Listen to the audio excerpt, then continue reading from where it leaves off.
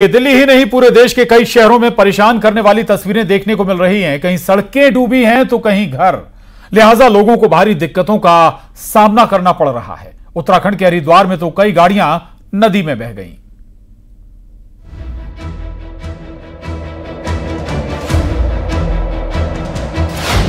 बारिश और बाढ़ का विकराल रूप। शहर शहर सैलाब का कहर। बाढ़ में बेबस ज़िंदगी। बेकाबू बाढ़ का प्रहार, सड़कों पर बहा सैलाब। मॉनसून की शुरुआत क्या हुई? हर जगह पानी का पहरा दिखाई देने लगा। देश के कई शहर जलमग्न हो गए। आशियाने ढहने लगे। सड़कें तालाब में तब्दील होने लगी। तो नदियों में उफान नज़र आने लगा। सड़कों पर आया सैलाब पीलीभीत यूपी। पहली बारिश में सिर्फ़ दिल्ली का हाल बुरा नहीं दिखा, बल्कि यूपी के कई शहरों का हाल बेहाल दिखा। ये तस्वीरें यूपी के पीलीभीत शहर की हैं, जहाँ पहली ही बारिश ने नगर पालिका के सारे दावों को ध्वस्त कर दिया। सड़कों पर पानी इतना भर गया कि वहाँ मौजूद स्कूटर, मोटरसाइकिल, उसमें डूबे नज़र आने लगे। गनीमत थी कि कार के पहिए थोड़े बड़े होते हैं, वरना कारें भी सैलाब में समा जाती। बारिश में डूब गया मोहल्ला, संभल, यूपी। अब आपको यूपी के एक और ज़िले की तस्वीर दिखाते हैं। संभल के सदर इलाके से आई इन तस्वीरों में पूरा मोहल्ला जलमग्न दिखाई दिया।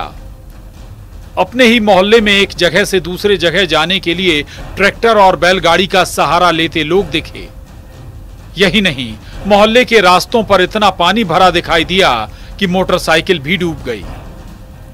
पानी बरसने का बेसब्री से इंतज़ार किया जा रहा था, लेकिन जब इंद्र देवता मेहरबान हुए तो इतने मेहरबान हो गए कि पूरे मोहल्ले को ही डुबा दिया। लोगों के आशियानों के अंदर पानी भर गया। अगर इस मोहल्ले में पानी की निकासी की व्यवस्था दुरुस्त होती तो शायद ये मंजर नज़र नहीं आता। बारिश के कारण गाँव की व्यवस्था खराब है, जल की वजह से। गाँव की रास्ता सब रुकी पड़ी है। लोगों के मकानों में पानी भर रहा है। खाने पीने की दिक्कत है लोगों को। ये बस बारिश का पानी से ढेर इतना भर जाता है कि हद से ज़्यादा। और लोगों के घरों में पानी बढ़ रहा है मैक्सिमम लोगों के। जो घर आ रहे हैं किसी की दीवार गिर रही है कुछ खाने के लिए परेशान है और दूसरों के घरों में जाए गुजारा कर रहे हैं। डूब गया डीएम का ऑफ़िस हरदोई यूपी। बारिश से न सिर्फ़ आम लोग बल्कि खास लोगों पर भी मुसीबत आन पड़ी है। यूपी के हरदोई से कुछ ऐसी ही तस्वीर आई है। हरदोई में एक घंटे की बारिश से पूरा शहर जलमग्न हो गया। हरदोई के डीएम ऑफ़िस में भी बाढ़ का मंजर नज़र आने लगा। तो वहीं सरकारी अफसरों के दफ्तरों और घरों में बारिश का पानी घुस गया, जिससे अफसरों के घरों में सामान तो भीग ही गया। घर में बैठने की जगह तक भी नहीं रही। हम लोग देख सकते हैं आपको जल निगम ऑफ़िस के जस्ट बगल में जल जल निगम के सहायक अभियंता का आवास आपको दिखा रहे हैं। स्थितियाँ आपने देख ली हैं क्या है? मेरे पैरों की तरफ़ देखिए कि ढाई से तीन फुट पानी है कमरे के अंदर बेडरूम है ये उनका। क्या है स्थितियाँ? यहाँ की स्थितियाँ बहुत खराब ही है। किसका आवास है ये? ये हमारे सहायक अभियंता अमित सर का है। तो कैसे क्या पानी निकलेगा ये गंदगी कैसे बाहर होगी? अभी ये बाल्टी से निकालनी पड़ेगी और इसका कोई और चारा नहीं इसका उत्तराखंड के कोटद्वार में बाढ़ का अलर्ट है। पहाड़ों पर भारी बारिश के बाद नदियों का पानी उफान पर है। उधर हरिद्वार के ऊपरी इलाके में बारिश के बाद सूखी पड़ी खड़खड़ी नदी में उफान आ गया और नदी से पास खड़ी गाड़ियाँ कागज़ की नाव की तरह बहने लगी। गाड़ियाँ बहकर गंगा नदी में पहुँच गईं। वहीं देहरादून में हुई बारिश से लोगों को राहत तो मिली, लेकिन कई जगहों पर जल जमाव हो गया तो कुछ जगहों पर सड़क धंस गई। और गाड़ियाँ भी फंस गईं। गाड़ियों को जेसीबी की मदद से किसी तरह निकाला गया। उधर हल्द्वानी में रिकॉर्ड बारिश दर्ज की गई। बारिश ने सरकारी इंतजामों की पोल भी खोलकर रख दी। नालियों का पानी सड़क पर बहता दिखा। ब्यूरो रिपोर्ट, न्यूज़ 18 और बात करेंगे अनूपपुर ज़िले के कोतमा विकासखंड की, जहाँ ग्राम पंचायत सजा टोला में स्थिति, स्थित एक गौशाला, जहाँ कई महीनों से गौशाला में आहार की व्यवस्था ही नहीं है। गौशाला की तस्वीरें देखकर आप खुद अंदाज़ा लगा सकते हैं कि वहाँ पर रह रही गायें कैसे जीवित हैं। कई महीनों से गौशाला में भूसा नहीं है। उन्हें खाने चरने के लिए गौशाला से बाहर खदेड़ दिया जाता है। जिम्मेदार इस पर कुछ भी बोलने से बच रहे हैं।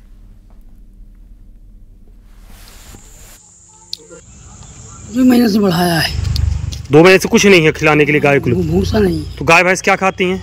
हो गया पानी पी के चरे के भरोसे हैं। सिर्फ़ पानी पीते हैं और बाहर निकाल देते तो चरते हैं। हाँ। मतलब सिर्फ़ गौशाला देखने के लिए बना है।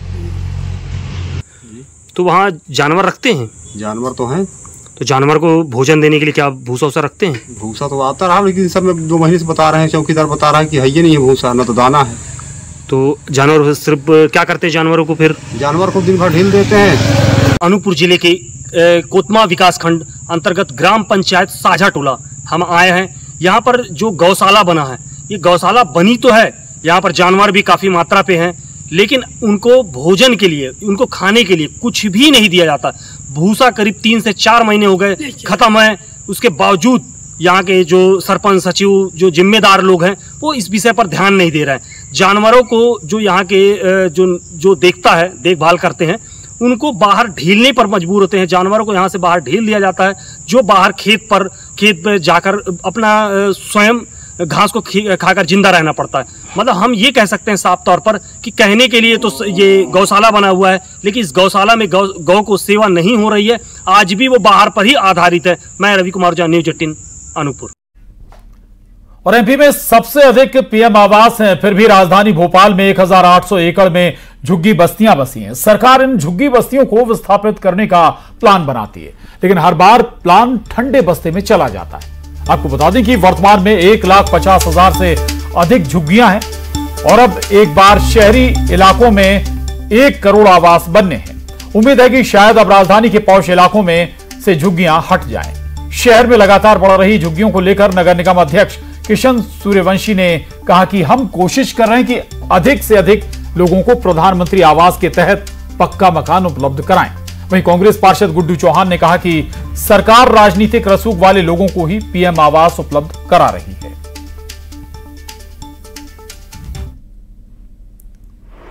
बन रहे हैं, बड़ी संख्या में बन रहे हैं। और उसमें भी इसी बात का प्रयास किया जा रहा है कि जो ज़रूरतमंद है, उनको हाउसिंग फॉर ऑल प्रधानमंत्री आवास के तहत मकान मिले। नगर निगम इस बात के लिए संकल्पित है और लगातार जन सुविधा की दृष्टि से हम सुविधाएँ देने का प्रयास कर रहे हैं। रही बात, झुग्गियों की संख्या कम नहीं हो तो अब इस प्रकार के मैंने पूर्व में भी समीक्षा बैठक करके आयुक्त और नगर निगम की हमारी टीम को आधार कार्ड से हितग्राही को लिंक करने के लिए हमने एक कार्य योजना पे काम किया है। खराब हो गई है।